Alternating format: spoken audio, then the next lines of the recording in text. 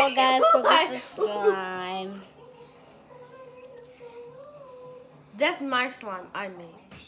Well, see, guys, it's right here. We need like a background or something. Sure, That's what she- I'm talking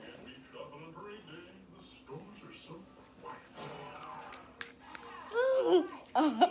You broke it in half. Let me see. And what did you make that with? We made this with shaving cream. Um, what is it?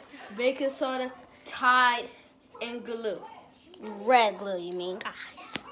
Red glue and white glue. And it made peach. Slime. It's peach.